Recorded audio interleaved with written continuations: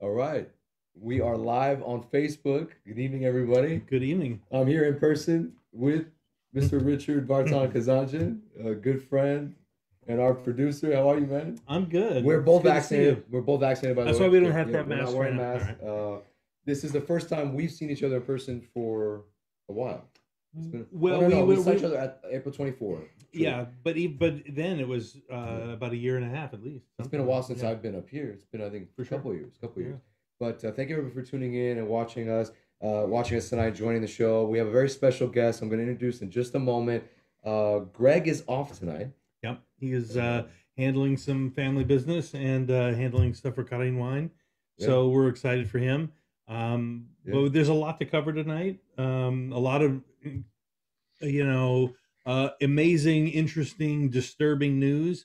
Uh, I don't even know how to put it. I think this has just been the extension of months and months of the the general uh, Armenian neuroses that we've been on. You know, there's been so much that that's happened. Um, Yeah, and- and- so- yeah, there hasn't been a lot of good news, uh, but tonight we are spotlighting and highlighting a very, very important initiative that the AGBU has put together. Right. I'd like to welcome and introduce uh, Miss Arda Har- Haratunian. Excuse me, Arda Arda Haratunian. She is a AGBU Central Board member. Thank you so much for joining us late tonight. You're in New York, correct, Arda? So it, so it's now officially Friday. It is officially Friday morning. Uh, thank you so much for staying up for us to join. I- I'm glad I could do it. to talk about this important initiative. Um, we're going to show the trailer in just a moment, but you know, Arda, it's been I have been very, very impressed and humbled and really blown away by the work that AGBU has done during and after and since the war, uh, from humanitarian aid to making sure our story is told, um, and even the uh, the the uh, scholarships and things that are being presented as well for people uh, to to research on art uh, on Artsakh. So we're really glad to have you. Thank you so much for joining the the, the show tonight. Glad to be here. Yeah. Shall we? Uh, I guess uh, should we shall we start with the trailer? Uh, Do you want, do you want to start with news or do you want to go right?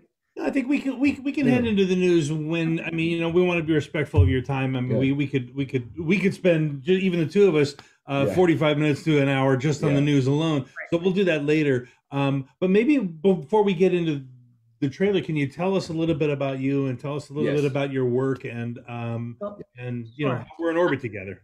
So I will, I will start by saying, um, first of all, I'm glad to be here and I am proud to be part of AGBU because, you know, this is not new. AGBU's just celebrated our 116th anniversary. Amazing. And I could probably spend the entire show talking about AGBU. Right. But one of the most profound things people should know is when AGBU was founded 116 years ago, our mission has not changed. How we do our mission obviously has evolved with the times. And that's one of these things that I have to say to be part of an organization that could be that, that true to its core. Um, so when it was founded, it was founded for very obvious humanitarian reasons. And the founders immediately thought about the need for social and economic development, even during those crisis years, you know, around the genocide. Um, and here we are, you know, 116 years later, and the core pillars of education, culture, humanitarian assistance, and socioeconomic development are still there. Right. Um, what's you know obviously disturbing to all Armenians is history repeating itself. Um, but I always, I mean, you know, I know David pretty well, and I have to say, David, you're part of the AGBU family in a big way too. You're one of the driving forces behind our young professionals. And honestly, the young professionals are the future of our global Armenian nation. So, you know, you really deserve a hand for the work you do with the YPs. Um, so, so basically, this video to me is a um, not this video, the series, the Voices of Truth, is really symbolic, representative of what we do. Um, and what's remarkable remarkable about this is if you put it in the context of the genocide, had there been technology to do this then, who knows how different history would have been record how differently history would have been recorded. So these Right. first person narratives are powerful. They're far reaching and and something critical i want everyone to know is one of the driving forces behind them was to reach not only our community but to reach non-armenians. And that's you know when you hear people telling their stories in, in such a compelling way and you'll see it from the trailer now um, it really moves you. And we hope that it moves people not just armenians to have history not repeat itself and ultimately to document the truth real time from the people who were there who in no way could be making this up. Right. So maybe with that, if you want to show the trailer. For sure. Yeah, perfect. For sure. We'll do that right now.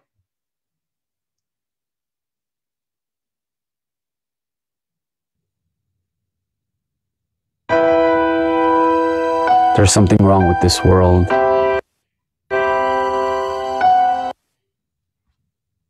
Oh. Streaming. Of course, we have a buffer. Yeah. That's the modern world. Իմ ցավեսին նման ցավ չկա։ Ես մռած եմ կենտանչում։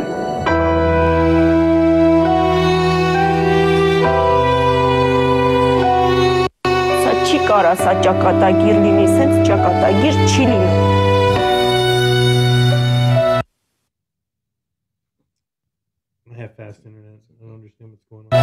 Ասեց գոնե դուրս եկեք, որ մեր դիակները հանող լինի։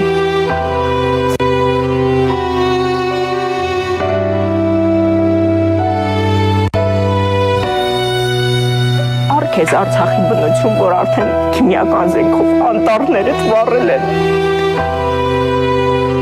If it's happening here, it's going to happen somewhere else in the next decade.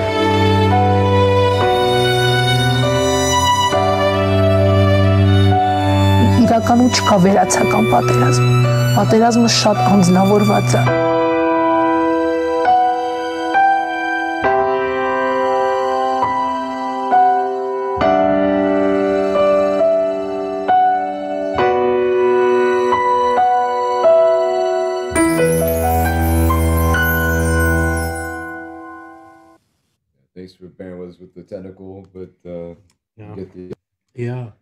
Yeah, it's amazing. I found that, you know, I, I'm a pretty emotional guy anyway, but I found, um, you know, the first shot of that older woman uh, speaking about it. I mean, I just immediately, that was my grandmother. You know, I, I grew up with my grandmother as a genocide survivor, uh, you know, crying every day. And, and so, you know, I mean, you know, when, when, when people think about the genocide or killings like this or, or whatever, you know they they don't often see it the same way that people who, who have been around these people see it. You know what i mean? Uh, and and and so when when when we think of it in the abstract it's like well i don't really understand it. I you know i didn't smell the the sulfur. I didn't see the flashes. I didn't hear it. Um, but but these people have. And i mean i can you know, i haven't met any of them. you see it in their eyes though. I mean that was a minute long. There is nothing dishonest, disingenuous, not real about that. And right. and I, I think that that really that minute speaks to how powerful this effort really is. Because just by watching those snippets, the photos, the stills from the oldest to the youngest, they lived it. I mean, they lived it less than six months ago. They lived it and they're telling their story real time so that those of us who thank God didn't and who you know we're all very high I said we feel the pain we don't really know what it's like but then you know by listening to those voices it's the truth of what went on. And it did not discriminate. I mean I, i've said this before these videos show it doesn't discriminate on age on gender on socioeconomic status I mean, you had in in the videos that have been done so far, you have people who had very responsible, successful careers in, in Stepanakert or outside of Stepanakert. And then you had people who, you know, were from the villages. Um, and so it was very personal, very real. I mean, I, you know, one of the women said it war is not abstract to so many people.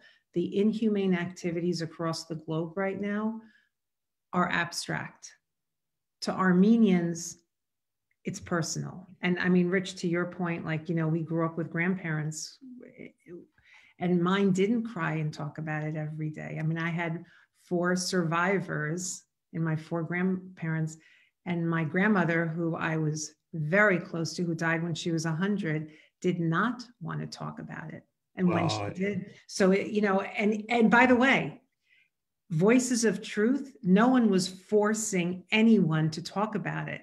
But when people started wanting to talk about it, AGBU was there. So Arda, you recently just spoke uh, to CivilNet about this.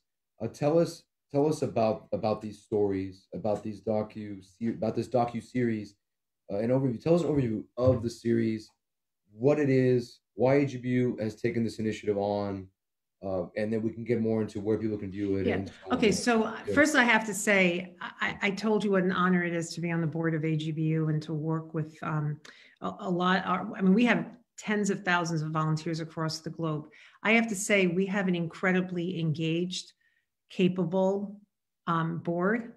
And one of our board members, um, Ani Manukian, she, you know, we were working on every December, AGBU does these um, programs for United Nations Prevention Day. I mean, the name is really long, but it's basically not supposed to be focused on Armenians. So AGBU has taken the initiative and really drives these events to focus on non-Armenians. And, and that gave Ani an idea as we were trying to get videos from Shoah about genocide, Armenian, non-Armenian, about Holocaust, about what was going on in Ethiopian Rwanda. Um, and the idea that we don't have much from the Armenians. So here we were preparing for December 9th, 2020, while the war was still going on. And we have terrific people who work for AGBU in Armenia. And their phones, their cameras, uh, it became their, their weapon. It became their way of documenting it real time. So it started with a simple idea motivated by something related, but not directly related our team, you know, jumped to it not easily because remember in Armenia, this was again very raw, not abstract, real time. But if you were willing to take your camera and they were willing, they were willing to talk, we at AGBU were going to document it. And at the same time, another one of our board members, um, Nadia Gortzounian from France, she put together this Yeria, this group Yeah. of young right eyewitnesses um, and that was had a profound impact because you had journalists who traveled you had lay people who traveled you had legislators from across the eu traveled and so take that and these eyewitnesses uh, eyewitness accounts again got documented and so all of these pieces came together so this is when you know you have a really impactful organization because even in the darkest moments you say let me create something that has the potential to be light for other people. Yeah. Um, and I'm saying other people, including non-Armenians. Right. So that that was the genesis of this. And and you know, obviously, from the moment the war started, AGBU's humanitarian hand was out there. Um, we had people at the Vaha, Vahe Karapetyan Center um, who wanted to talk. So not a single one of the people in these videos were forced or you know or coerced or you know said please tell they wanted to talk and you see you know and they're not acting you know you can tell when people are being overly dramatic Fabricating. were just yeah talking from the heart so that was that was it That's amazing. And so I, you know, for those, and so first of all, I'm glad that you brought up non-Armenians because we like to think that we are catering to not just the, you know, Hayastansis or the, you know, you know, any any of the Armenians from around around the world. We're also trying. We're we're Californians too, and we're Americans, and we we you know because of the genocide live abroad, right? Or we're Mhm. born and raised abroad. So so you know, I mean, I I grew up I was born and raised in Sa- Sacramento, California, but- my mother was from Brooklyn and my father was from Aleppo. So, you know, we try and broadcast to uh, our uh, Americans as well and try and rope them in. So, Mhm. on that note, for those of for those of our American audience who don't know what the AGBU is, um, it's the Armenian General Benevolent Union. One of the things that I I really appreciate about not even just the organization, even in the name, um, that you know the idea of benevolence in a gen- in a general way, and that you're just focused on helping, uh, is really profound. And I think that, and it also speaks to the idea that there's, it's nonpartisan, which Mhm. I like. Definitely nonpartisan, definitely non-political. Um, I, I will say, you know, if, so you talked about doing good and helping and, and this is not charity. We don't do this to be charitable, right? I mean, of course we're charitable. Of course our hearts are full of grace and, and um, we want to help people. But it's, you know, it's about our people. It's about our nation. It's about our church. It's about all of the components that make up the, the global Armenian. We call it the global Armenian. Um, we don't judge you know, and it's interesting. We're working on a program right now, David, you might know about, but on identity and inclusion and just really, you know, we are richer as a people when non Armenians come into our fold, when they're fascinated by what we do, how we do it, how did we survive, how resilient are we? And that's a word I'm trying not to use in every other sentence. Yeah. But, you know, it's not easy being resilient, but it is a real gift to be as resilient as we are. And when things don't go well, we don't give up. And I, you know, I have this theory on, you know, this war was planned for years. I'm not saying this geopolitically, I'm not trying to profess great political knowledge, right? But when the people who tried to wipe us out 100 years ago, 120, 110, 106 years ago, when they saw 2015, the, the centennial of the genocide, um, when they saw, you know, the Smithsonian featuring Armenia on, on, on the mall, when they saw Francophonie taking place, 80 French speaking countries gathering in Armenia, WCIT, the World Congress on Information Technology, all these things said we have not only survived, we have moved beyond it. Now, the recognition from Joe Biden was hugely significant. I would never say it was anything but, but we were doing okay without presidents doing the right thing. Right. Right, right. That was a big step for us, and it did give a boost, and a lot of you know non-Armenians suddenly paid attention. But Armenians have so much to be proud of, and you know AGBU has kind of built on that year over year, and throughout our history at critical points for our nation, whether our nation was under Soviet rule, independent democracy, you know, AGBU has had to play a role in helping continue to kind of keep our, our people grounded and, and together and everything else. So it is benevolence, it is helping, it is, you know, obviously doing some charity, but I, I will um, sort of transition to, you know, you referenced it in the opening, David, the Artsakh, you know, the fellowships, the scholarships, and I don't want to misspeak of what they're called, but we had an overwhelming, Yeah. You know, it's a fellowship. response to that. And I think um, that speaks to the fact that there's a lot of interesting stuff to be studied in Artsakh, and scholars, students, they want to study it. So that's another way. I mean, scholarships broadly, but specific to Artsakh, um, Yeah, that was a big one. So keep our, It's- our people grounded and, and together. Yeah, it's been amazing. It's been amazing to see. Arda, did we lose audio? No, I don't think we did. Did you lose me?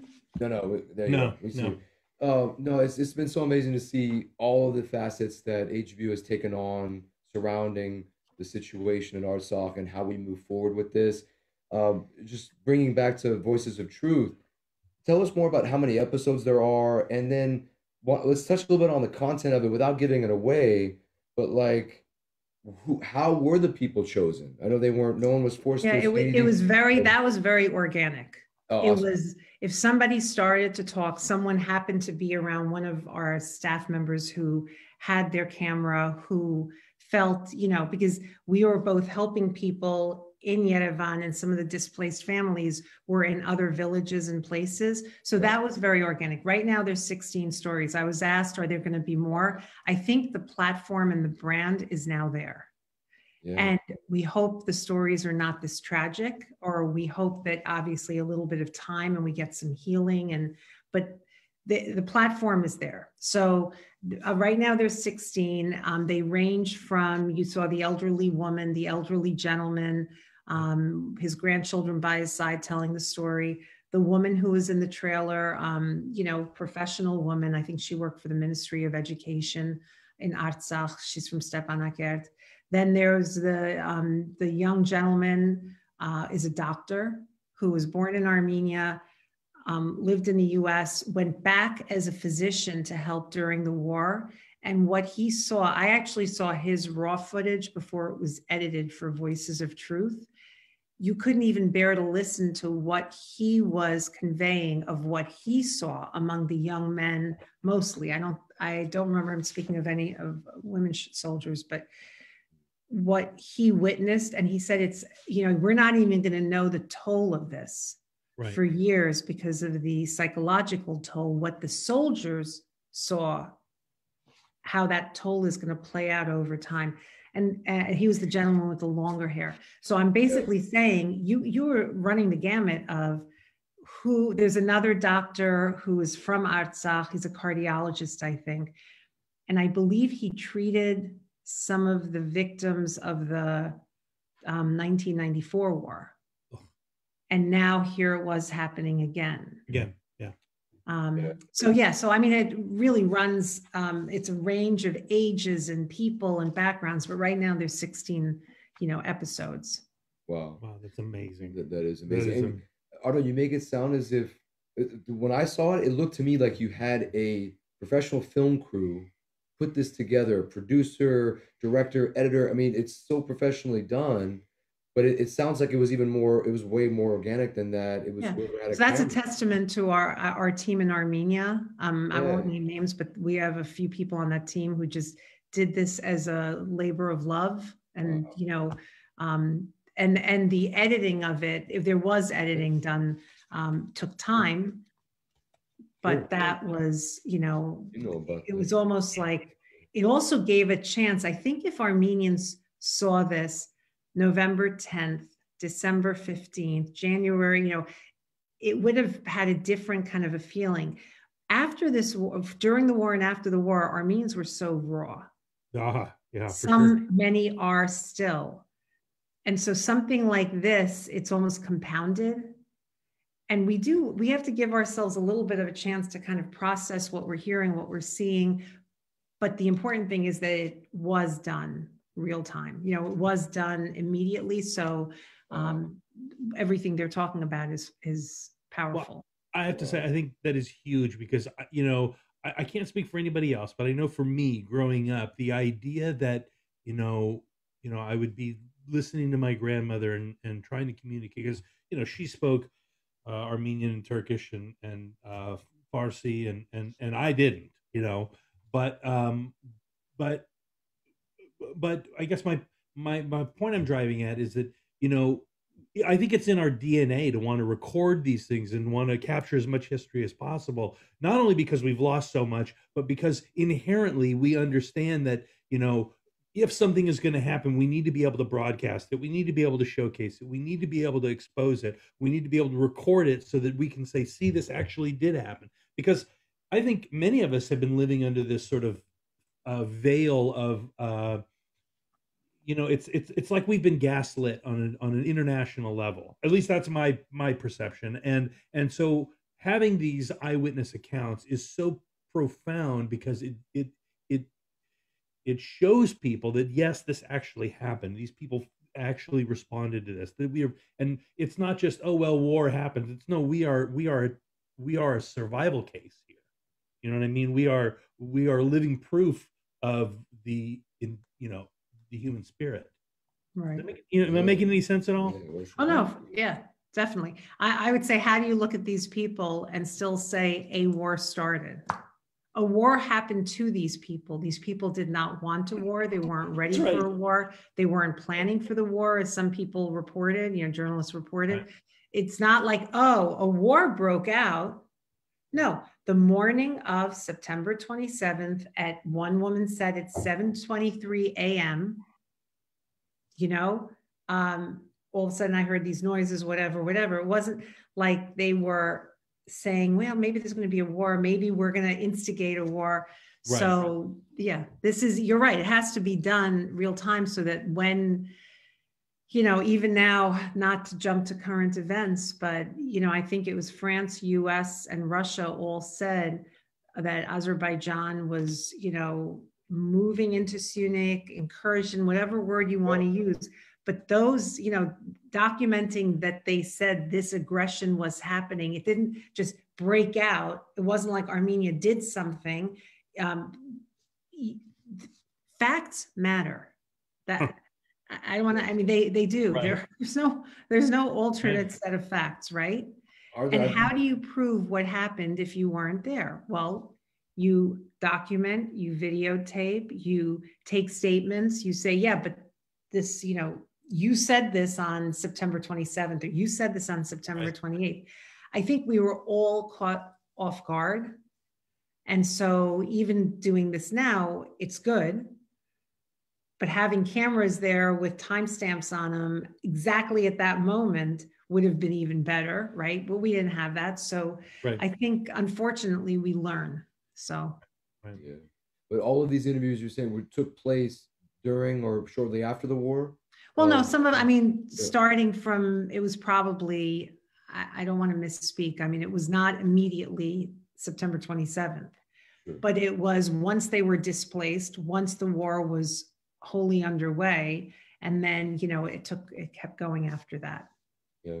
You know, I mean, remember, I don't think anyone was in the position September 27th, October 1st, October 8th to say, hmm, let's document this right this second. But as people were being displaced, as they were telling their stories, as our AGBU team in Armenia said, let's document these stories, you know, um, as our board members said, what can we do to yeah. not repeat? You know, I said this on CivilNet, like Yes. we grew up you know hearing about the genocide through yellowed newspaper articles we saw copies of the new york times from 1915 1916 you know um, there wasn't really video and by the time we started capturing the people on video i mean i remember i was young but it was in the 1980s That's right. um, we were starting to lose our survivors. Yeah. So you Yeah. don't want that to, well, first of all, you don't want any genocide anywhere to ever happen again, but you certainly don't want to lose the ability to get their eyewitness accounts. For sure. Yeah, that's what, why this is so powerful. And you know, Arda, I took your quote that you said actually on uh, on the CivilNet interview. The truth is important, and nothing is more powerful than first person narratives. That was the quote that, that you gave um, in that that interview, and it's so it's so true, and that's why I think this is so powerful. Um, Arda, perhaps you could share. You mentioned New York Times, and we're getting towards uh, the latter part of the thirty minutes here uh, to get us started, and it's very late. We don't want to keep you uh, too Mm. late uh, over there, too early in the morning. Um, but the you mentioned New York Times and learning from the New York Times. We don't have that luxury anymore. Now we have to combat the New York Times with letters to the editor for their outrageous misprinting and biased reporting, right? How can this series be a part of this next stage of post-war analysis, right? That is so essential for our for the accuracy of what happened, and how can we use it in uh, in the PR scope, which is your expertise, right? PR professional for so many for so many decades. What What are your thoughts on that? I mean, obviously that's that's what the basis of this is, right? So, yeah, okay. yeah, First of all, question. you have platforms, right? You have networks, your non-Armenian networks, your professional networks. So you need to share them. And I said it to the Civil Net reporter as well. I mean, he's from the UK originally. And I think the more people we get it to, and they're so short and compelling that you can watch them. I mean, there's one that has multiple episodes, but otherwise, they don't take that long, right? And you can watch six minutes, eight minutes, four minutes, whatever it is. So every single one of us needs to just share these and say, look, it's not happy watching, but it's certainly educational, it's certainly instructional, and it certainly has a meaning beyond just our world, right? Um, so that's one way. You know, I grew up knowing information is power. We all learn that, right? So the more information you have, the more power you have to control destiny, your destiny, you know, whatever the, the issues you care about. So I think ha- information comes in different forms. I would argue that, um, you know, one of the things I'm passionate about and I speak about is media literacy. We're kind of in the older age group, even though you guys are much younger than I am. Um, but I'm talking about third graders now, second graders, you know, fifth graders. They don't have media literacy yet. They're getting bombarded by information. They don't know what's accurate, what's not. So Uh-huh. this is where we have to use kind of critical thinking and you know younger and younger kids are learning that. So this series, The Voices of Truth, is valuable information. It's accurate and it's instructional, right? So getting it out there is important. The media serves a purpose. There's good, there's medium, there's ugly. I, you know, we'd have to deal with all of it. Uh-huh. One thing, whoever's listening, there are do's and don'ts in dealing with the media and cursing them out, threatening them um, is not helpful to us. And, and we're not going to go off on that tangent now. Right. but I will tell you, I've shared the link of Voices of Truth with a number of journalists. Mm. Not all were warm and fuzzy and friendly during the war, but I just said, whenever you have a chance to watch it, because this stuff's not made up. Okay. I'm not asking you to write anything, I'm not asking you to correct anything, but I'm giving you constructive feedback that perhaps you didn't have the full picture. And so this is just one of the many things we have. Um, you know, the AGBU website, right from day one, um, we were doing these activates uh, to people across the globe, what you can do, how you can be better informed. Immediately, we start compiling news articles from a host of outlets in multiple languages. Um, and so it's easy to find information, academic things, easy to find. So you go to the, you know, agbu.org and there is a wealth of information and it's all vetted and trustworthy. So, you know, and this is just one more link, Voices of Truth. That's that that's amazing. Um, you know, one thing I wanted to comment on before we, you know, you know, begin to wind down, uh, is the is the idea that you know if we're going to deploy uh, information to people, I think it's important for us to realize that we're living in an age where where inf- not, it's not just information; it's attention is the new currency. That's why Facebook and all these other uh, companies have got algorithms that, that are designed to hook you in with short videos and to understand us how we work so that they can present us in uh, content that they want us to consume. And so we just have to find ways as advocates and as activists to find better ways of deploying the content that is going to capture these people's attention so that they can create some change. Because I, you know i found that i could blast until i'm blue in the face and it doesn't get a whole lot of traction whether it's because facebook's algorithms weed it out or whether people tune out after a little while i just have to change the way that i make my approaches and i don't know what your position on that is or how Well, you I mean, it's it's a attention span is a commodity. Right Um, I think, uh, you know, we used to joke around about elevator pitches 15 years ago in my business. And now you have to have an elevator pitch for the Artsakh War. And when I would explain to a journalist, this history does not go back to 1994. It does not go back to 1921 when Stalin arbitrarily gave this eh, you know, land to Azerbaijan. This goes back a thousand plus years. And so that's, that took what, 20 seconds? So whenever somebody, whether it was the New York Times or another news outlet, talked about these poor Azeris who are finally getting their land back after they lost it in 1994, I'm like, well, what came before 1994? What came before 1921? What, you know, and so that's all done in snippets of information. If you're lucky, you get someone who actually cares about the whole story. right But the elevator pitch concept is true in advocacy as well. It's not just for selling your startup, right? That's right So 100%. we all have to look. I make this argument. I teach communications too. I not only work in it, but I tell my students in both the writing and the public speaking class, I'm like, these are the two most important classes you'll ever take in your life, which I'm sure many people would disagree. But Warren Buffett said it. Well, I'm Yeah. sorry, what did you say, Rich? Well, no, when I, when I was in high school, I took a public speaking course, and it led me into a career of being a public speaker. Mhm, So it yeah. and when and when that teacher said this is going to be the most important class you ever take, I didn't believe it, but now I 100% believe it. 100%. Right. So No we as Armenians have to become better communicators to non-Armenians, which is why as angry as we get, like I said, posting nasty things or tweeting nasty comments is not constructive and it's not going to move our needle.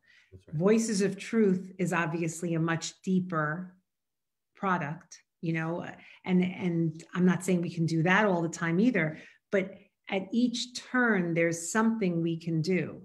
Um, and I'll go back to the AGBU website, agbu.org, right? I mean, you go there, if you spend half an hour, as many of my non Armenian colleagues have done, you get a lot of information and you know that it's quality information, it's relevant, it's timely, it's useful.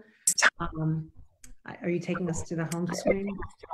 Yeah, we're showing we're showing yeah. the home. I mean, honestly, if if everyone here, you know, anyone who's watching, listening, like just go to agbu.org. You will learn more about Armenians, history, the context. You know, our Web Talk series, AGBU Web Talks. There's one with Israel Charny, I think, um, on the landing page now.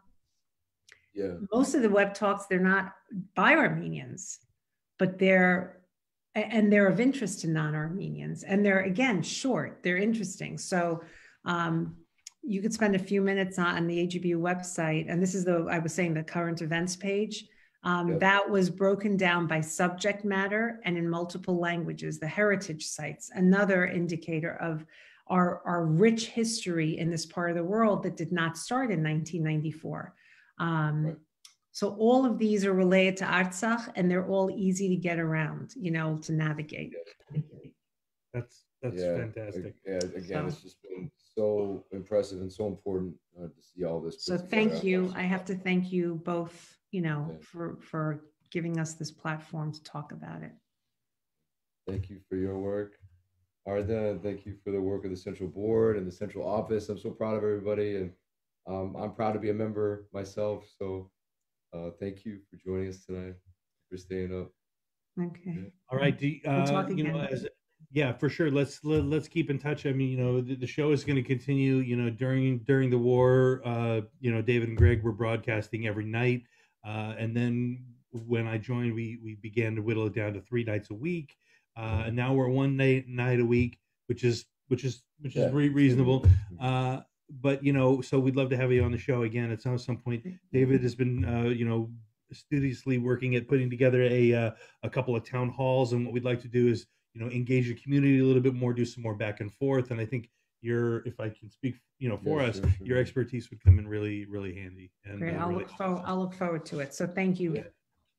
okay thank i'm gonna so leave much. now have okay a, have a great night Thanks. thank you so much take care bye-bye all right so uh, a lot yeah. of ground covered uh, we've got all the links uh, up thank you david for doing that yeah no, no problem she yeah art is great uh, and yeah i mean her background was in communications, uh, PR communications, um, and so you can see just where she's coming from. And uh, I appreciate everybody that's tuning in and watching and and taking a look at these sites. I encourage people to bookmark them, uh, to reference them. I've had them bookmarked for a long time, uh, so you can always reference uh, things and there's resources on all those sites that we sent. And of course, to take a moment and uh, watch the episodes right. of Voices of Truth and share them as Arda mentioned, uh, which is the most important thing I think we could do is to share it. For sure, I think you know our voices are you know um, it's great to have a voice, but you have to have something to say when when you know when when you're trying to project your voice. So yeah. uh, hopefully you know you'll take something from not only what, what we do, but of course what AGBU does, yeah. uh, and not only internalize it, but you know help uh, raise awareness with other people and get them to uh, you know, not only understand what our cause is, but to you know to activate and to go. Pers- you know, we have the luxury in this country uh, of having a Bill of Rights, which allows us to connect with our you know with our um, you know direct re- representatives. And if we're not even paying attention to those people, um, it's it's really hard to expect any change to happen. So you're, um, you're you absolutely right. Yeah.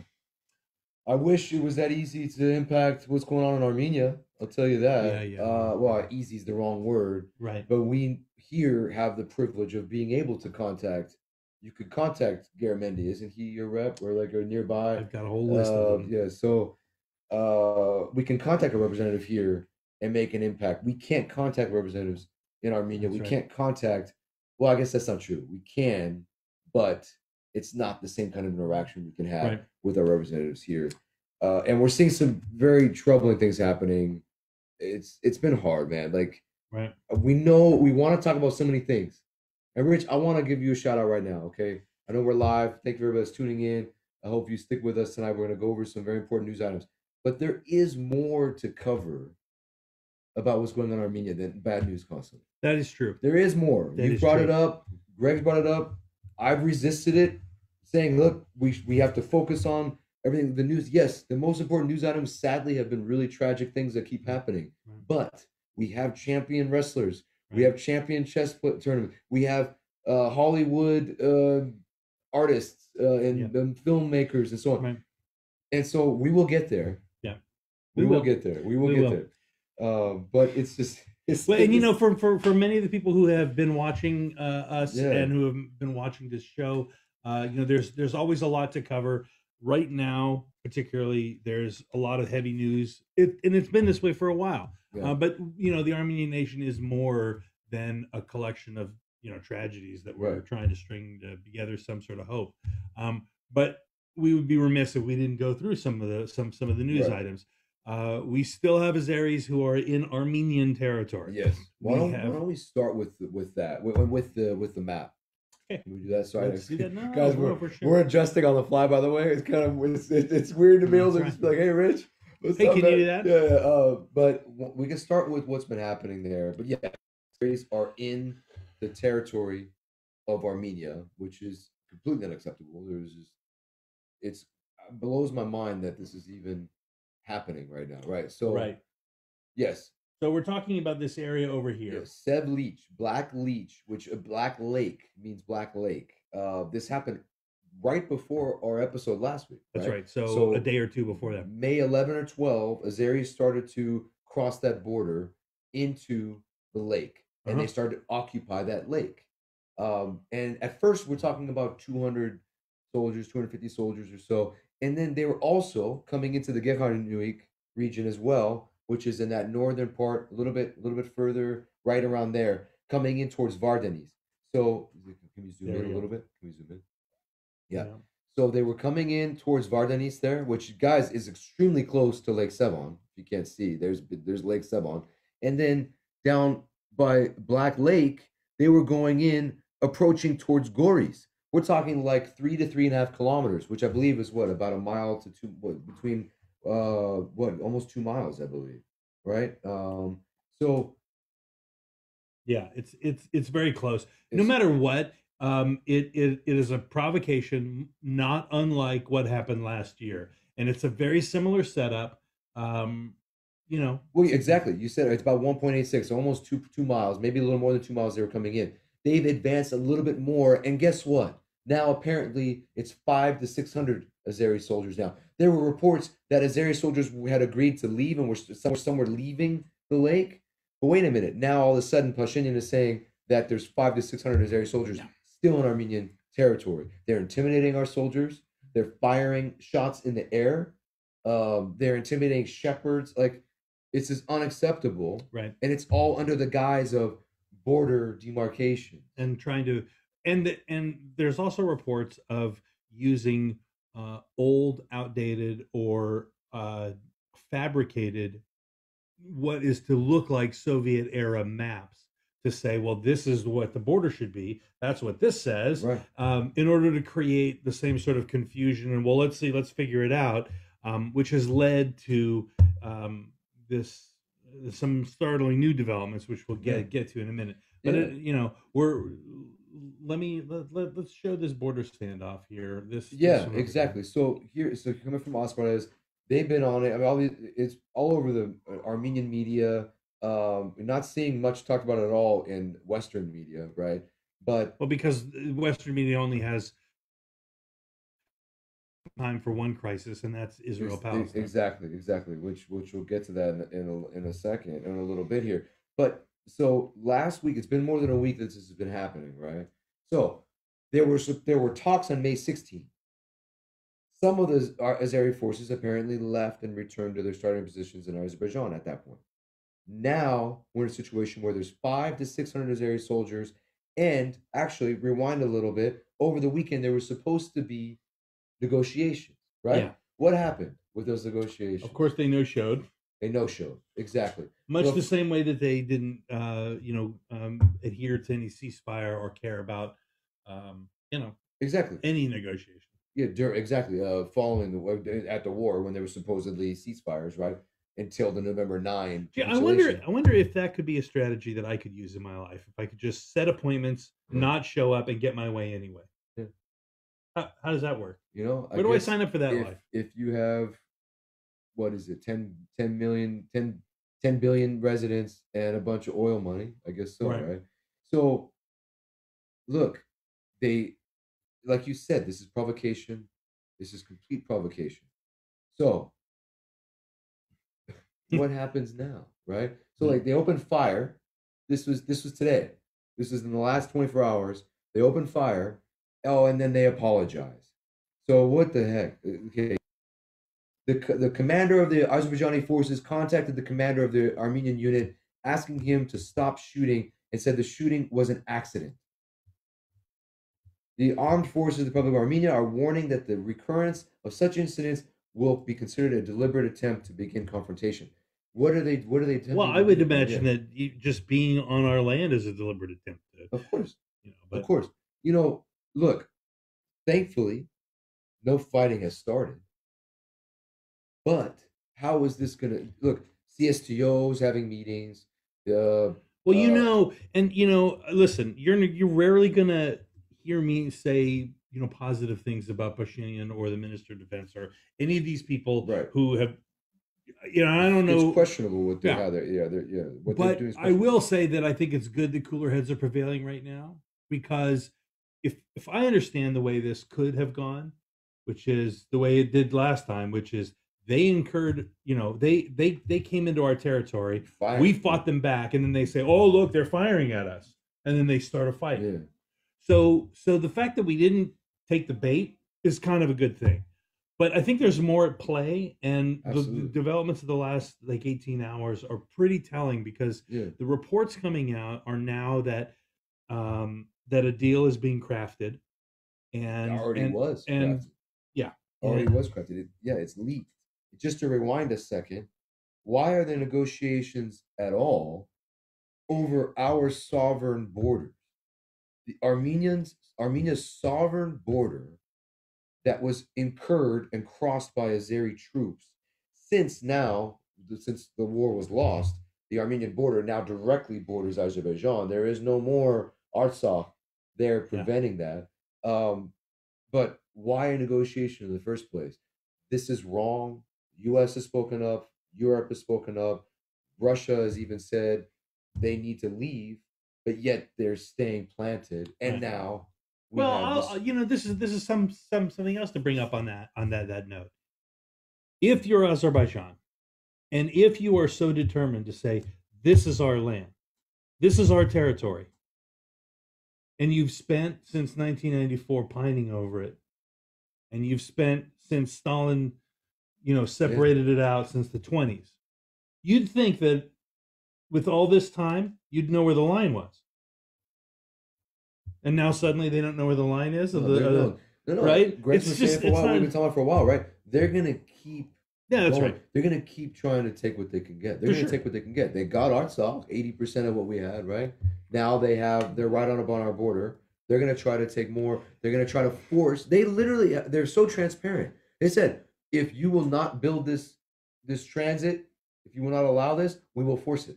We're gonna take it anyway. what uh, this seems like and look on that like we showed the map a northern part and a more southern part they're trying to invade Well, the problem is this, David, and the problem is that is that the the world is paying attention to Israel and Palestine, right of course and I'm not I'm not suggesting that they shouldn't.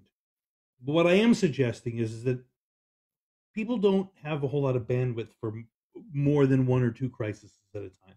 Mm. And these people, and when I say these people, I mean the Turks and Azeris, they know that. They That's know, why they, they did know, this the timing. They knew when Trump was going to be, you know, real, you know, in the mm. election fight. He, they they knew that COVID was happening. This was, you know, Yeah. And and and and the other part of it is they took American tax dollars Yeah. under the auspices of fighting against Iran, and then they bought a Or- bunch of or weapons. terrorism or whatever Right. right yeah So Yeah. so and and here's the other part of it, and this is the sad sad sad truth of it is that I've just come to realize that Armenian lives don't matter the same way other lives do, uh, and I wish it and Yeah. to more than just Armenians. I don't know.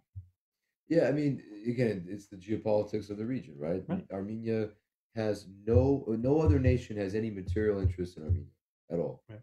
So while Macron, Macron, let's say his name right, right, calls, says, comes out saying that France will be there and support Armenia, say if Azerbaijan starts anything, right? They even said militarily TikTok. if it happens, great. Because we don't, we don't, we cannot necessarily count on Putin right now in Right. Russia right now. CS, CSTO is meeting. Putin is saying, okay, resolve this diplomatically. But when it comes down to it, we really don't know what deals have been made. That's right. What I have a very reputable contact that's even said to me. Someone we've had, uh, I'm, I, no, it's okay. I'm not going to reveal any names or anything. They shared to me saying that we don't know what commitments Russia has made to Turkey. Does that mean they've made commitments that more can be conceded, that more can happen, that a war can actually happen, that you know, like so we don't know, Yeah. and we're gonna get to that. and we moment. also we also don't here's the other part of it that and i think for the people who are either watching live or uh, recorded later yeah, uh you guys know that it doesn't the part of this that gives us such a sense of unease is not just the lack of clarity it's not just the lack of information in order to figure out what could be clear it is the idea that no matter what arrangement or you know anything that is made or agreed upon but they're going to do what they want anyway. And so this feels like at least to me it feels like a repeat of what happened in the fall. You know you know we're going to say we're going to do training exercises. We don't know whether that's going to be bluster or not or whether we're really going to push the envelope and get into your territory. But then all of a mm-hmm. sudden we're going to send a little posse in to go Yeah. check out this this Yeah. border. And then we're going to say oh well we need to figure this out while we just occupy land i mean can you imagine if we if we marched in, if if california marched into baja california and said well we just got to figure out where the border is here really yeah, like you didn't know yeah, yeah, it's whatever I, I It's yeah, and so look, you were starting to touch on it. I, I derailed this a little bit, but It's some disturbing news came out today, right? Of yet another agreement that Pashinyan has already almost preliminary agreed to. Just about. It was leaked. But he said he's going to sign it Yes, he said in parliament he's going to sign it and he's he's making a precondition on that. That the document. Okay, hold on a second. So there's a couple things going on here. The document was leaked. This was not public knowledge. It was leaked by Serge Sarkisian, Serge Sarkisian, the former president of Armenia, former son-in-law, mm-hmm. who is a is opposed is anti-Pashinyan, leaks this document. Okay, Pashinyan was forced to confirm yet another deal with Azerbaijan that has been kept under wraps. Okay, this is according to Asbarez. Until an oppo- opposition news site published the contents of, the- of the leaked document. All right, so what is this document? When I'm hearing this news, I'm I'm my my stomach's churning. I'm like, my God, what now? Yeah. Has he already signed away territories of Armenia and Syunik? What is going on? There's a whole lot of weird. so there are there are on in six points in this and we can either unpack this or you know I- uh, leave that for the for our fo- for the Why don't we unpack it Okay. a little bit? I will try we'll- and go yeah. through at least the first three Sure. really quickly. Number Sure. one says the governments, and I'm just going to highlight it just to make it a little easier. Just to give everybody a little bit quick overview, it has to do with the demarcation of borders. This document has to do with that and establishing a commission Yeah. for that purpose. So what this says is that the governments of, of Azerbaijan and Armenia shall establish delegations within the framework of the com- of this commission uh, by May 31st. Then the then the government of Russia will establish a, de- uh, a delegation at the same timeline, and they'll be doing consultative work uh, to sort of negotiate between both parties. Number three says the delegations will be headed by official representatives, which are appointed according to the laws of Azerbaijan, Armenia, and Russia. So this is an important thing to unpack really quick quickly. What this says is whatever law structure is going on in Azerbaijan, they're going to pick the people who are going to come to this delegation. Same goes with Armenia and Russia. And we both know, we all know, that right now there's a whole lot of turmoil in the political structure In in Armenia, Armenia. in Armenia. So who knows who's going to be on this delegation, Right. right? Right. Eh, and, and also, we know for we we know right now, Azerbaijan and, and even Russia questionable. They're not going to have Armenia's best interest in mind, right? Right. So No, number four, the Yeah. commission will hold its first session at the end of June, June 30th, as a result of which the main directions and the sequence of work will be formed, as well as the composition of the expert groups to be approved. In other words, yeah, they're gonna they're the, first they have to get people together, you know, appointed by the government to go talk, and then they're gonna talk about how they're gonna talk. Right? Yeah. That's essentially what it is, yeah, right? Yeah. Okay, now we're gonna figure out how how how, how we're gonna do this. We need a lawyer to. Right. I mean, this is cl- this is as good as it can get Yeah. ad hoc like this. Yeah. The expert groups will present a series of tasks within a month after the first session of the commission. I'm not sure exactly what So that means. Would that be July 31 then? Or by July 31, a month after? Is that what that means? Because the first session is June 30. Expert groups will present a series of tasks. And what does that mean? Series of tasks. We have yet to find out. Uh, sorry, go ahead. all Yeah. issues, uh, the expert, yeah, number six, all issues related to the safe implementation of the declaration and the work of the commission should be addressed only through diplomatic and political means, based on a.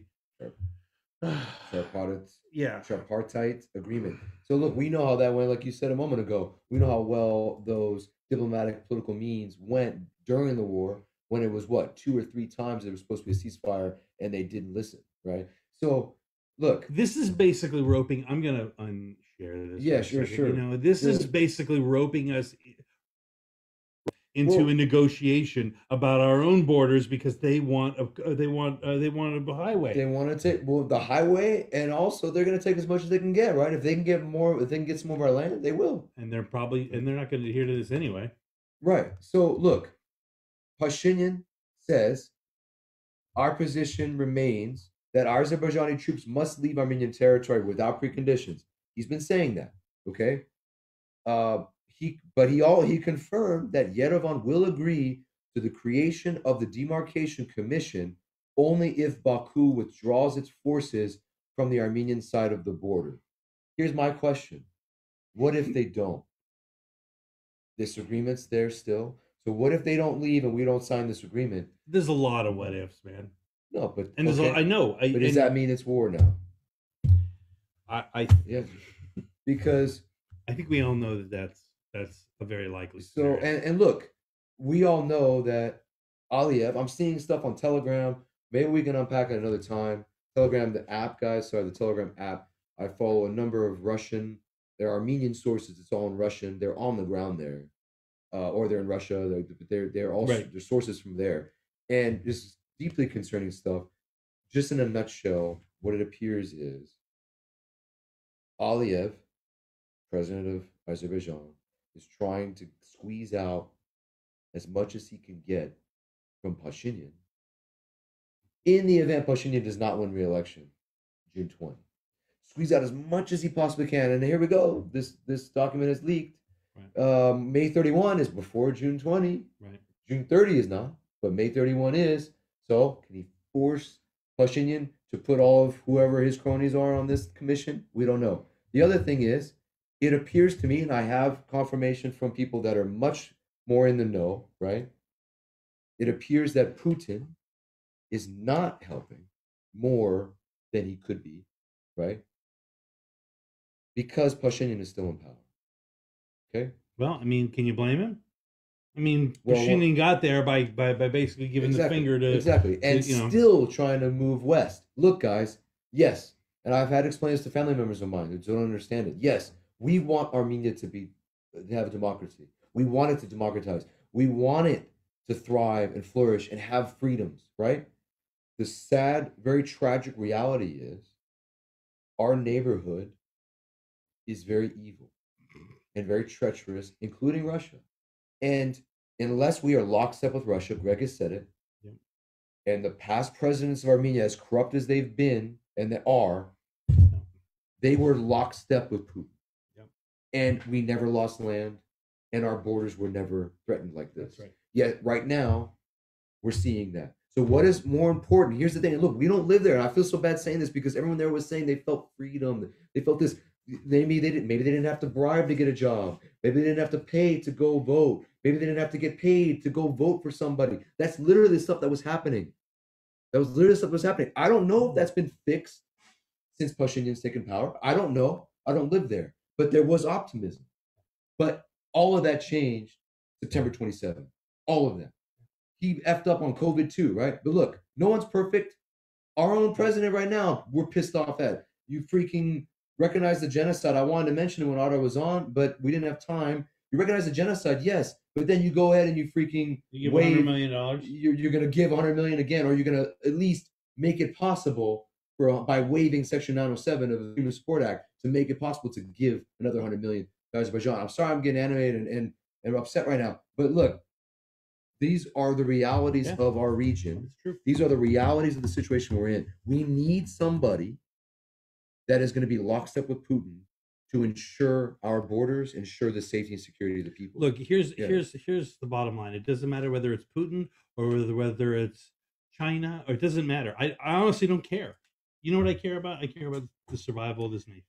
And and unless Armenia, and I said this in the last show, unless Armenia can find a way to arm itself to the teeth and take care of its borders without worrying about anybody else and can do so, you know, assertively, uh, then we're going to need to be playing ball with the people who can do that. And right now, that's Russia. I mean, I think it's great that Macron said he would send people in. He's not Yeah. going to. I think it's Uh, great Iran said that, too, that Iran. Iran said "Hey, the, the border has has to stay the way. Yeah. So the the the flip side of Iran saying that the border has to stay the way it is is that now, and let's let's for a moment just entertain this. I want to go back to the map real quick. Sure. So give us a second. Um, you know, I, I, you know, going back to the map, if we look at the board, Armenia's border with Iran, Yeah. yeah, Small little stretch. small little there, stretch yeah. here. If Iran says no, we don't want, we don't want a new neighbor or the elimination of a neighbor. If they're hard fast on that, that gives Azerbaijan enough to say, well, then the border, then we have to have it crossed here. If you can't do it here, we got to do it here. Well- and so, you know, w- I mean, I think it's great that Iran is sort of stepping up a little bit, but under what context are they stepping up? Does that mean that they're helping us, or are they actually hurting us Yeah. by by suggesting that it has to be somewhere else other than here? Well, I mean, I think what know what I mean? looking like by by Azeri's actions, right? Coming in at Sev Lich, Black Lake, and then up in the, the Right. more northern part of Gegharkunik, it looks like they're flanking both sides of that direct middle route, right? Uh-huh. That middle route would go would be the shortest path between Azerbaijan and the right smack dab the middle. well, because they already have a road here. Exactly, right? So it makes sense that it looks like they're going to try to force that and just choke our nation and force that. Let's hope that doesn't happen. But there is, Well, it would actually be this. What they would want to do is take this whole thing. I mean, it- the infrastructure is already there. maybe, I mean, they're not. yeah, they'd have to build a new road right through the middle part. But it looks like the we don't know. But the middle part looks like it's the it is the shortest path. It looks like it, but we don't know. And hopefully- and let's just also reframe this for a second. They're trying to connect two pieces of land that weren't theirs in the first place. Exactly. They've always been ours. They Nya- Nya- like when we were prepping, Nahichevan included was ours. Right. Artsakh, always ours. So look, but look, there you guys, What everyone needs to know right now is the threat of renewed, of not renewed, the threat of a new war Right. is very real. Very, very real. Right. And we have some very clear indication from our own State Department, Right. right? Right. Shall we touch on that, Rich? Sure. let's like concerning this above everything concerns me more now that we've we've seen what this document is i don't like it but i'm i'm alarmed and very concerned by the timing right now of these guys what are they travel advisories from multiple nations western nations on traveling to armenia and to artsakh excuse me to armenia and to Azerbaijan. They're not going to mention Artsakh, of course. But you guys, because the Gorno Karabakh that that doesn't exist anymore. right? Well, yes. I mean, the eighty percent of it we don't have. Well, no, no. right? I mean, Yeah, even on the map, you don't see it. right, What you see is it's all Azerbaijan. right, right. But look, guys. Thanks, here's, Google. Yeah, here's the thing. Um, this was just in the past three days. The U.S.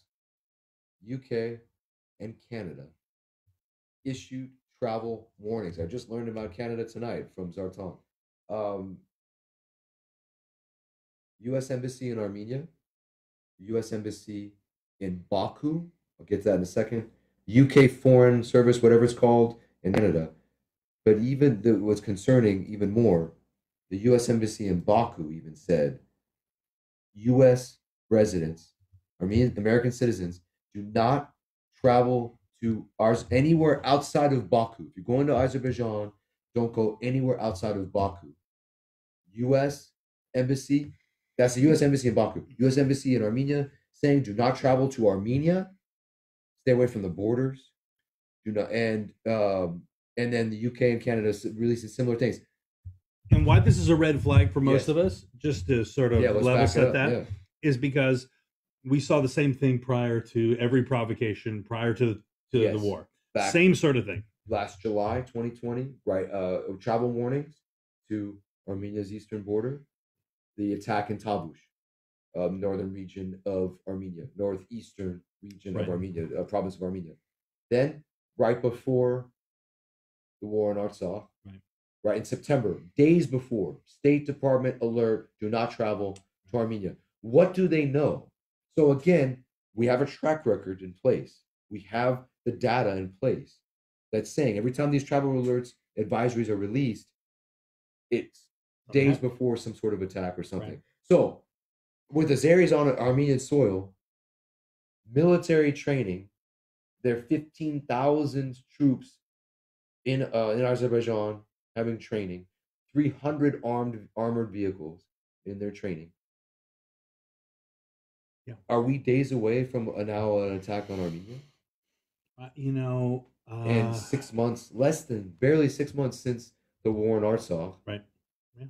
You know, yeah, it's it's it's ex- extremely concerning. And I, Greek City Times, man, called it. I feel. I hope they didn't. but well, I yeah, I know, I know. It's it's it's. yeah, I Ev- even though we're at a news we're at a news show, I'm at a loss for words about it because it is it's so heartbreaking. it's so concerning. We ever we need to be aware. We have to try to keep our resolve. We have to make sure others are aware. That's why, again, you know, our episode was so important on how people can take action. Share about it. Share trusted sources and articles. Uh, you could share the articles we post. Share them, like, and and just say why it's important to you and why people should care. And we have to keep it going. Right. Yeah. Uh, Yeah. Well, we're gonna we're winding down Yeah. to the end of this episode. Um, there's a couple more things to to note. Yes. Um, I know that there has been you know renewed violence in. Um, Gaza I'm gonna Strip say yeah in, in Palestine, Palestine, and, and, and Israel because you know not everybody is using the the correct word of Palestine, Right. but um, you know uh, and and and we we we pray for safety, and I hate, I know that's a very overused uh, statement, but you know for those of us who do pray, it's it's important to do it. Um, in the middle of all this, Yeah. an Armenian priest was injured in an attack in Jerusalem Yeah. uh, uh, a bunch of uh, Jewish youth, uh, you know, were the ones that did it. Um, Yeah. You know, and you know, I, I don't really know the entire context of it, um, but it is troubling. Yeah. You It's know, very troubling. It seems like it's just you know their nationalistic uh, agitation. You know, like I, I, I don't, I, I didn't get the sense. Well, you know, I was there uh, September 2020, September September 2019. Excuse me, um, in in say, Jerusalem in the. Armenian Quarter, and it was amazing to be there to meet the patriarch there, to meet some of the clergy there, and see the St. James Cathedral. Uh, this was a priest that was at St. James Cathedral, and they have a convent there with for the the uh, clergy that are studying uh, to become clergy, uh, ordained clergy, and uh, it's it's very disturbing to hear about that. That, but the relations between Armenians and uh, Israelis and Palestinians, I I don't think we none of us got the sense that there was any real any kind of conflict per se uh, between them or any discourse, but uh, you just see this byproduct of the aggression. Yeah. I see. Yeah. right. Um, Uh, and then you know, you know, a couple last things. Uh, you know, the you know, we still have POWs. We still have, you know, um, Yeah. far too many who have yet to. more, more than 200 and it's now what six months since since this war Wow. right? Yeah. Are we six months now? We are. So, uh, wait, yeah, it's, it's been a long time. It's been more than six months. It's been more than six months since the war. Well, since the end of the war. Well, some since November. So Yeah. Yeah. So, you look, I want to thank the European Parliament. Over 600 members of their parliament voted in favor for the immediate res- uh, resolution of the Armenian POWs being released. Immediate. We have a POW resolution here Congress, and I'm going to give an update right now to the minute of of uh what it is. HRES 240 live TV guys. Thanks for tuning in. Or if you're listening later, 54 co-sponsors. We have 54 co-sponsors out of 435 members of our parliament, US House of Representatives. Yeah. And thank you Europe for showing true solidarity with 607. So I find that really in- interesting, you know. Uh, and David, I think you have a little bit more intel on this. So let, but let's talk about it briefly. what's that? Um, the GOP has historically been the party of the military. Like we are so pro-military, we're so POW. We want to take care of everybody. We take care of our own. Which, by the way, they don't because they don't fund the you know the the VA hospitals and everything Right. else. Uh, but but I find it interesting that the the party that suggests that it is so pro-military and pro taking care of people who fight in wars Yeah. are not signing on to this bill because of Adam Schiff. Yeah, I mean, again, this is inside information. We can share it. We might as well. Let's put out there. I'm not going to say who shared this information with me, but you know, I asked uh, just try to try to get more insight as to why the POW resolution, out of all the resolutions, right, out of all of them, you don't want to sign on to the Artsakh's That's right. right. to self uh, self determination. Okay, you don't want if you're on the Azeri caucus, which is not many, by the way, and you don't want to sign on denouncing Azerbaijan, right? Like, okay, but these are 200 mil- men, women, elderly that are being held captive Yeah. for six months. I, I hate to tell you, but I don't think they're being held captive. But you know, that's just my morbid thought process on this. I don't think they're being held captive. What do you mean? I think they're dead. I hope not, man. I mean, we know that some have been murdered. We know that, that we know that some have been able to communicate with their families because the ICRC, International Red Cross, has been able to, but we don't know the exact status of all of them, right? We don't, or what how they're being treated for sure.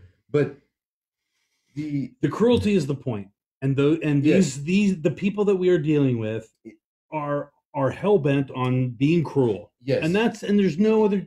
You're absolutely right. And intimidating and humiliating the Armenian people, de- dehumanizing us. But yes, to the point you brought up, it's very concerning. Why? I'm trying to understand. And I asked Right. why such why the POW resolution out of all the resolutions was should be an international human rights crisis, right? Has so few co-sponsors. And it's because, sadly, politics within our own Congress, the person who wrote it, who sponsored it, Is one of Uh, our staunch allies. is one of our staunch allies.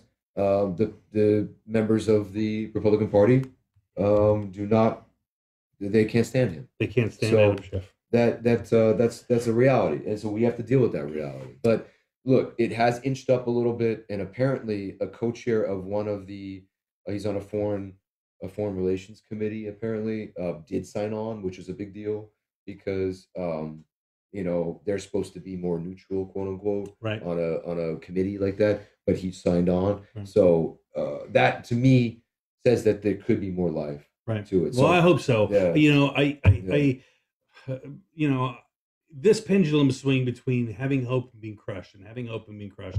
That you know, it it, Yeah. it forges you into Yeah. something that you didn't want to be. At least it, has for me. And Yeah. so you know, but what quickly to you know some way that you can help uh, help push the issue, and you can help yes, um, you know, with getting your U.S. representatives to co-sign this letter yeah, um, to to this to, to Security Blinken uh, to the to our Secretary Blinken in order to you know help get some change and to get these POWs released.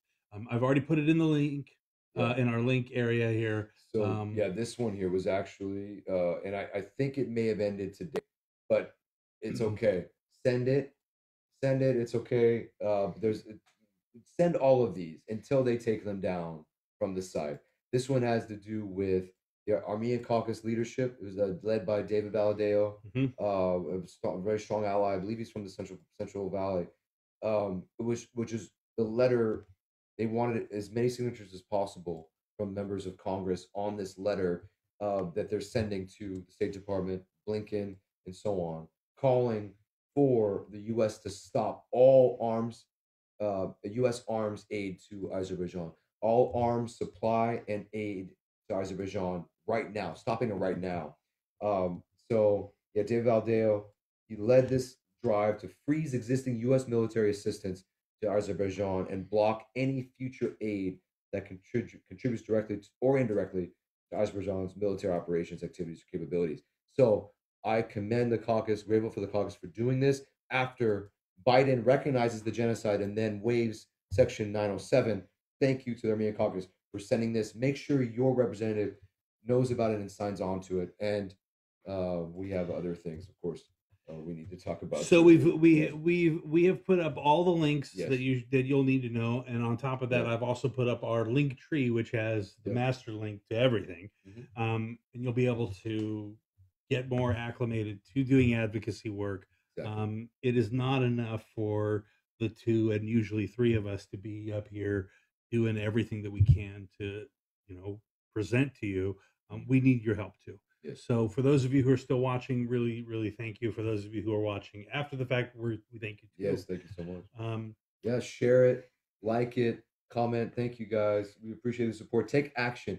You could take action. It takes a matter of just a couple minutes, a couple clicks, um, by by taking action with these links we provided. And actually, the Voices of Truth link is up on our link tree as well right now. Um, and actually, you know, Rich, before we sign off, um, I do want to uh, plug them to, uh, this Sunday's event one last time Okay. while we're on air.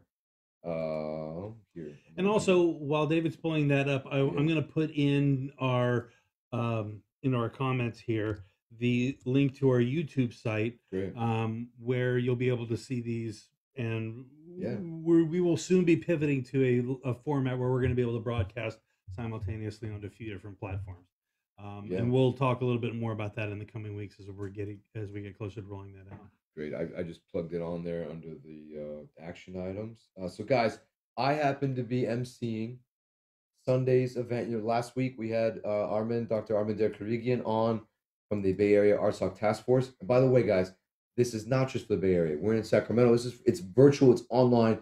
Anybody, anywhere, if you're awake in your time zone, can participate in this virtual event. The flyer is going to be right there. Uh, this is actually the link to register. Um, uh, I apologize. The flyer, worries. Rich, is actually on our Facebook page. Uh, if you're able to pull that up uh, without too much trouble. Uh, thank you guys. We're live here, uh, but the so you guys can see the visual of the flyer with the grand prize. There is a literal grand prize with four nights um, for four people at a luxury condo in Palm Springs that is going to be just given away at this event. Okay, so to have the chance to win bad that I don't know anybody with some backstage Yeah, passes. So like you know, it, it's actually available to win, but it's tomorrow. It's it's sorry, it's Sunday. It's For Our Soldiers. Um, the it's a virtual gala and auction raising money for the Insurance Foundation for Servicemen, which provides compensation for families of fallen and injured soldiers. So um, the it's non-governmental, um, and so you all the money is going directly to these families. This is providing a way of life for them. Many of these families have lost their major breadwinner. Parents have lost a son. Yeah. Spouses uh, lost a husband. Wives have lost a husband. Uh, you just yeah scroll down. It's sorry. Okay. Uh, No, you know no, no, it's further down. Sorry, it's um. they Just go on the, go on our page on our page, or it's photos. Uh, There it is. Public photos. Yep. Boom. There it is. Perfect, guys. Hopefully you guys can see this in just a moment. This is the flyer. It's a great flyer. Um, and this is the event. You guys can register. The link is gonna is on our link tree. It's gonna be in the the comment section in just a moment. Uh, it's free to register, but it is raising money, and so we encourage people to bid on auction items, to bid in the silent auction. I gave my Warrior tickets for one game for next season, and they're playing really well. They're gonna be great next next year. Um, and I gotta bring you to a game, man. All You're, right. you're gonna come with me, man. Yeah, for you sure. Gotta, you I'd gotta love it. come. You gotta come down to the bay, but I'd love it. but uh, I'll wear my Yankee gear. yeah, that's fine. That's fine. Whatever. Uh, I'll let you even wear Yankee gear to an A's game if you want, man. It's Oh. okay. It's the same. I uh, always do. It's the, it's the same league. It's okay. Uh, but it's so important that this is being done. The Arts Force put it together, and uh, we have a goal of raising fifty thousand dollars on there should be no reason on that we can't do it. Sunday. And um, Hey, you know, we make light of this stuff sometimes because so much of Armenian life is so heavy. Yeah. So much of Armenian life is trying to raise awareness. So much of what we do, the three of us, uh, with David and uh, and Greg and I, is all about uh, you know trying to contribute to the nation. So every once in a while, we're going to break and have a little joke in there because it's the only thing that keeps us from you know walking into traffic. So you know, I'm gonna I'm just gonna do what I can to to be you know uh, as light as I can on some of this stuff. I, you know, I think it's a great cause. Um, so if you can do do what you can. Yeah, do. register for free and join and contribute what you can. I mean, there's going to be ways anybody can contribute, even as low as twenty five dollars. Right. There's going to be opportunities for people to do that. I'm emceeing. It's an honor to do it for this community and for and for a wider community Yep. and for the cause. It starts at six forty five p.m. Pacific time on Sunday. The link is there to register, Right. and we hope to see you there. I'll put the link for the silent auction too. It's on our link tree. That's fantastic. Yeah. All right, so uh, with you. that, uh, we're Yeah. just gonna sign off, and we'll just let you know next week, same time, nine p.m. Um, we will get release. Greg back. I think yeah, we get Greg back. I think we. I think we get him back. Hopefully, Unless he stays in LA, but if he stays, he can still join us on Zoom. He can still join us on Zoom. I'll just have to send him his wine. That's all. All right. But thank you guys. Thanks, everyone. Take Yeah. care.